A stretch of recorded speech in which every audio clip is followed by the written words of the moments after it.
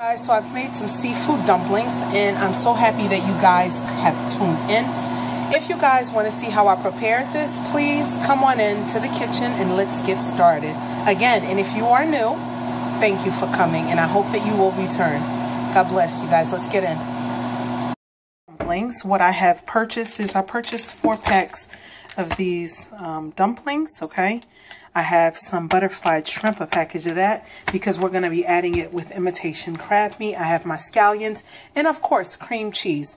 So, um, what we're going to do is we're going to um, cut up our veggies. I'm going to take these and cut these up, cut up my shrimp, and we're going to saute it, and then we're going to stir it in with the cream cheese, you guys. All right, so let's get to it. And you're going to take, and I have some celery in there as well. Not too much. You don't need too much celery. But I have um, less than um, a cup of white onions. Okay. I have my chopped, um, I chopped up the imitation crab legs. I have some cabbage. I forgot to tell you guys. Like about a quarter um, of a cabbage, a small cabbage. I chopped my shrimp up and I have the scallions. So what you're going to do, we're going to saute our onions and our, our um, celery all right, and then we're to throw in some fresh garlic to this mix. Garlic I just threw in there, you guys. And we're to throw in our shrimp.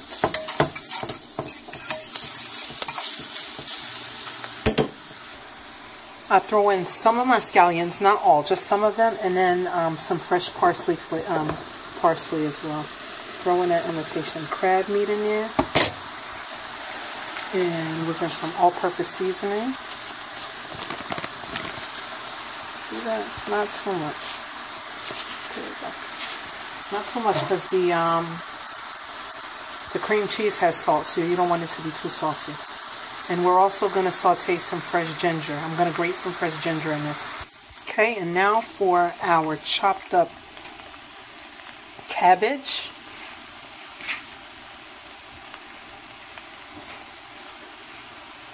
Gonna toss that in nicely.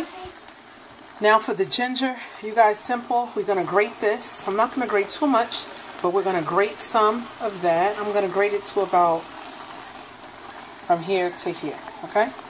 And try to keep this on medium low so it don't um, get, you know, stuck on the bottom, okay? To prevent it from sticking and stir, all right? Then we're gonna um, add the rest of our green onions in it and um, some soy sauce.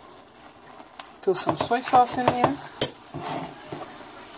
This is the light soy sauce, okay?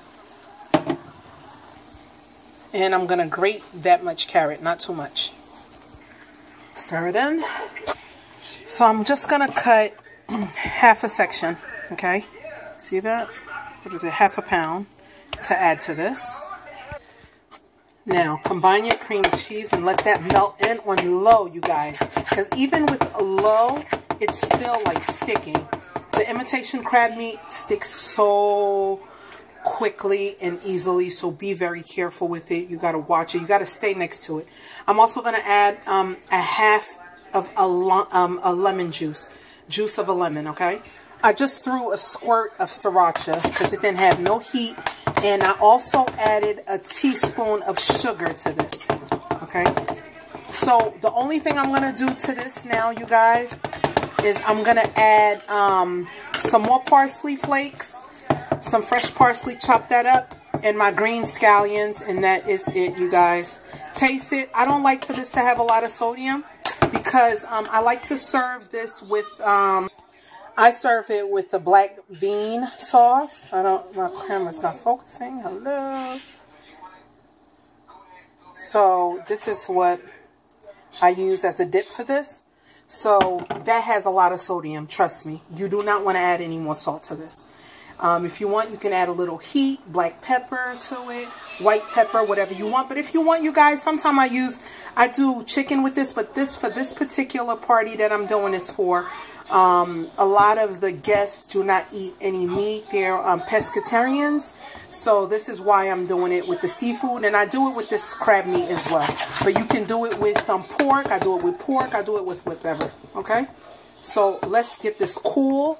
Um, throw the parsley in there and my green scallions. I forgot the juice. I use a lime, you guys. I had a lemon and I noticed that it was going bad. So I have to use the juice of a lime. Half the juice.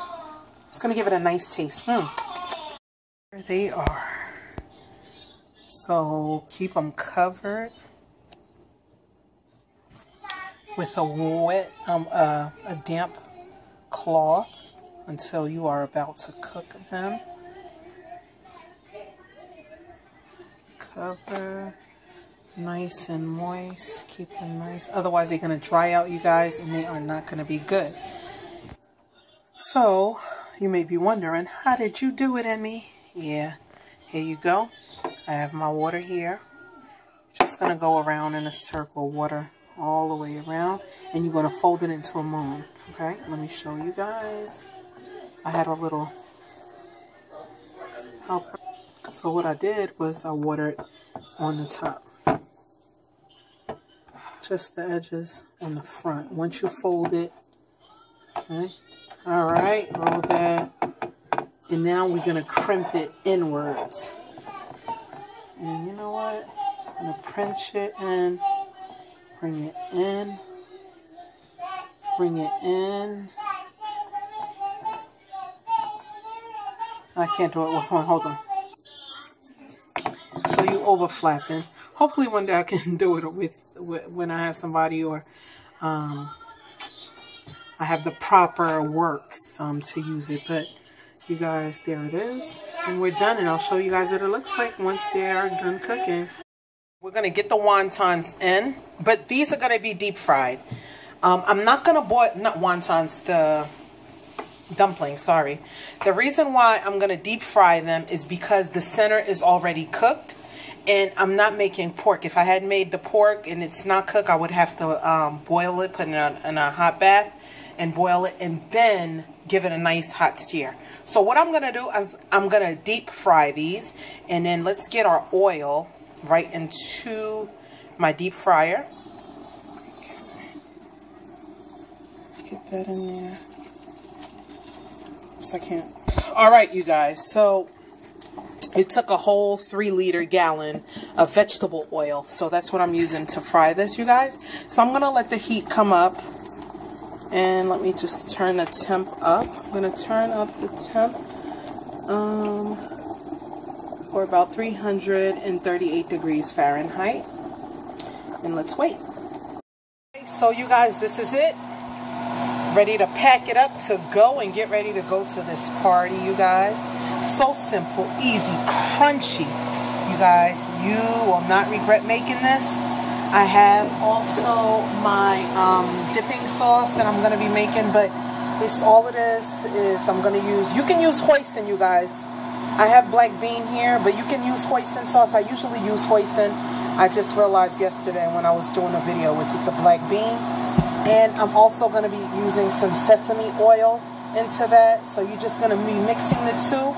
I'm going to grate a little bit of ginger and I'm going to do all of that over there because I don't want it, um, I don't want it to spill. So you know what? I'll um, show you guys when I get over there. I will be making it for you guys. All right, you guys, let's get to part two of this recipe of our fried dumplings.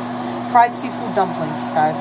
Thank you so much. Again, like, comment, subscribe if you are happy with the results or if you have suggestions for me, you guys. Stay blessed. Thank you so much again for coming back to this channel. Love you guys and I hope you've been affected. Have my ginger in here. Like I told y'all, I have the dip, I have the black bean soy sauce, and I have the, the sesame oil. So we're going to put in, that's some ginger that's already in there. Not, we're going to add some sweet chili sauce. Sorry guys, everybody's making noise, they're excited.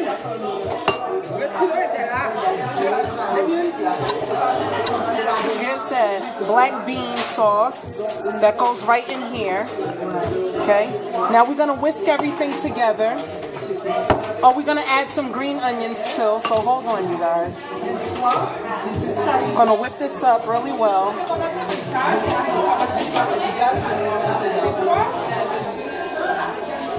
If you want, you can add a dab of sugar into this, you guys.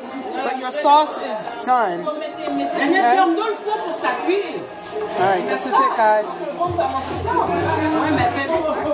All right, you guys, so this is the dip. Thank you so much for coming to my channel. I appreciate it. Like, comment, and subscribe, and I hope that you will replicate this dish. God bless. Thank you so much for coming by.